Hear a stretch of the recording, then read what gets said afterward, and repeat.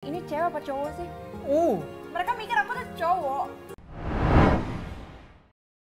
jatuh cinta berjuta rasanya. Oh, rasanya nih hanya dengan kehadiran si dia kamu mampu bahagia.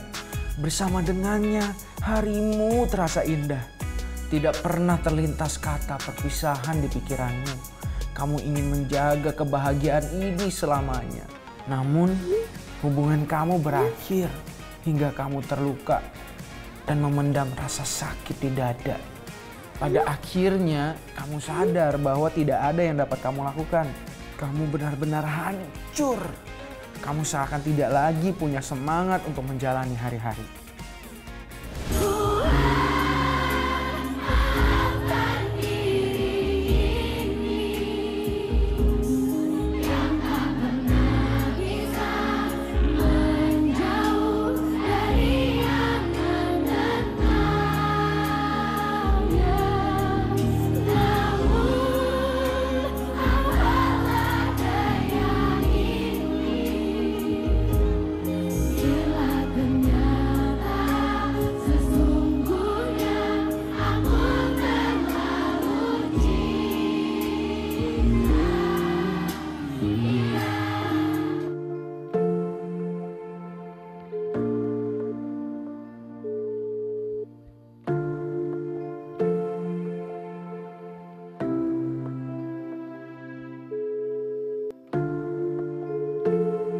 Halo?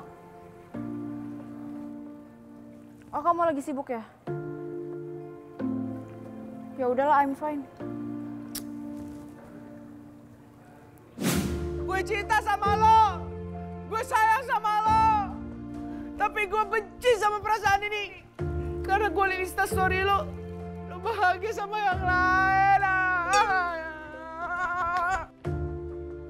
Ada empat gejala atau ciri-ciri dari orang yang sakit hati. Yang pertama nih, susah tidur.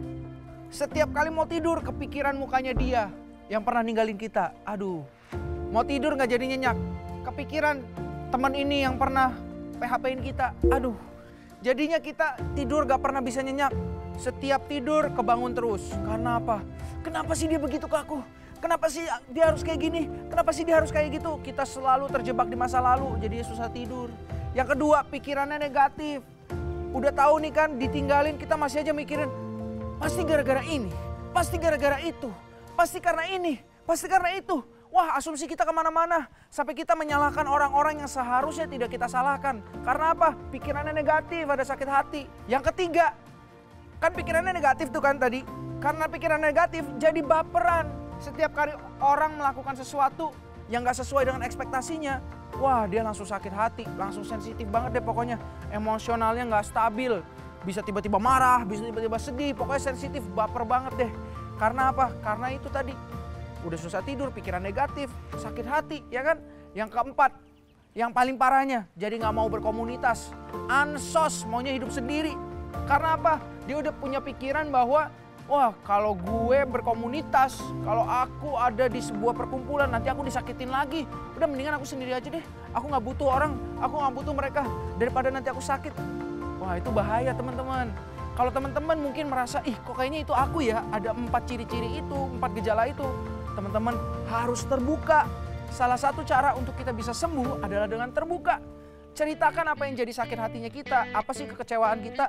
Mungkin teman-teman gak bisa cerita ke banyak orang. Nah, aku punya satu cara nih buat teman-teman. Teman-teman bisa cerita curhat tentang kepahitannya teman-teman, sakit hatinya teman-teman ke Super Youth. Nih nomor teleponnya ada di sini. Tinggal hubungin di Instagramnya bisa, di telepon bisa, WhatsApp juga bisa. Teman-teman curhat aja, jangan takut. Kami akan menjaga rahasia teman-teman dan kami akan berdoa buat teman-teman supaya teman-teman boleh pulih, bisa tidur nyenyak, nggak pikiran negatif lagi, nggak ansos lagi, dan yang pastinya teman-teman nggak jadi baperan lagi. Karena apa? Karena hatinya udah pulih dari sakit hati. Karena itu jangan disimpan. Ayo curhat ke Super Youth. Kami siap jadi sahabat yang baik buat kamu. Tadi kan kita sama-sama udah lihat gimana ilustrasi dari orang yang sakit hati karena pacar dan orang yang sakit hati karena teman. Nah, ini dia nih pemerannya. Asik.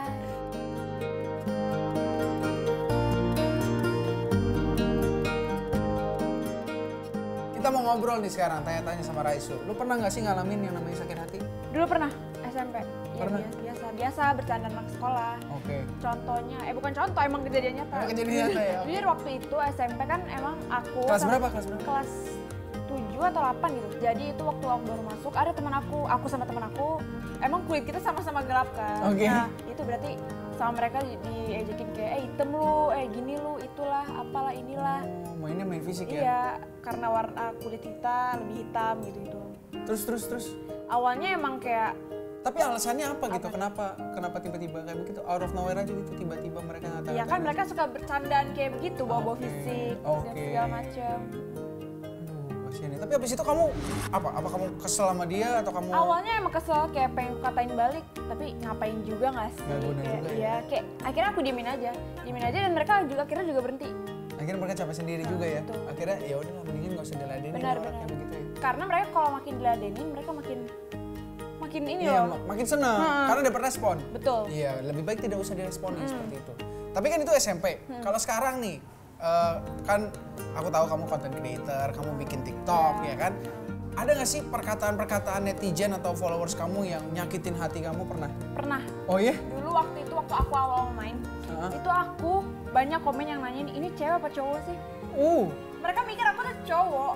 kok ngeselin? Iya mak nggak ngeselin sebenarnya kayak aku awalnya kan kayak bingung gitu. Lah emang iya ya aku mirip cowok ya? Oke. tapi tapi lama kelamaan aku kayak eh gila keren juga ya ternyata itu bisa dijadiin sebagai citra gitu loh citra Oke. tersendiri karena dianggap sebagai cowok bukan hal yang buruk juga kan Oke, itu jadi malah sebuah keren. keunikan ya? betul wanita maskulin kan Asik. Yang penting kenyataannya kita tetap perempuan. Ya. Eh, saya cowok, dia perempuan. Berikut ini, Su. Apa nih? Kita mau kasih tahu ke mereka tiga cara untuk mengatasi sakit hati Tiga kita. tips. Yes, tiga tips. Yang pertama adalah teman-teman harus mengakui perasaan kamu. Jangan menipu diri sendiri ya. tidak boleh denial Yes. Kalau sedih, Sedih ya aja. Kalau memang butuh nangis, Ya, nangis aja. Kalau kesel, ya kesel aja, nggak apa-apa. tapi jangan berkelanjutan Iya, jangan berkelanjutan. Nggak apa-apa harus kita luapkan. Jangan Tuhan kasih kita perasaan bukan buat ditahan ya, tapi untuk diungkapkan. Tapi ungkapkannya dengan cara yang benar. baik Nah, yang kedua adalah dengan melakukan kegiatan yang positif. apa nih contohnya Iya, kamu kasih contoh dong kan kamu yang biasanya melakukan kegiatan positif. TikTok ada yang pertama pastinya berkarya dulu lah berkarya Yes. untuk melupakan dari kesedihan-kesedihan itu kita ubah dengan cara berkarya Yap. bikin TikTok atau mengembangkan talenta Yes. Itu makanya alihkan olahraga kayak Ah, gitu kan. Kalau misalnya lagi kesel boxing. Asik. Bayangin muka dia ya jangan. lari Jangan jogging asik jogging ya kan lari dari kenyataan loh salah bukan salah itu bukan. Ya olahraga lakukan kegiatan positif. Yang ketiga su apa nih mengampuni. Betul. Eh sering kali tuh ya orang tuh nggak sengaja melakukan sesuatu ya nggak sih? Dan tiba-tiba kitanya aja yang terlalu Memikirkan. yang- iya sensitif ya. Aduh itu ibaratnya jagung. Nah kenapa gua ngomong jagung? nggak ada hubungannya. Pokoknya ampuni. Udah jangan jangan diinget-inget lagi lupakan move on. Oke.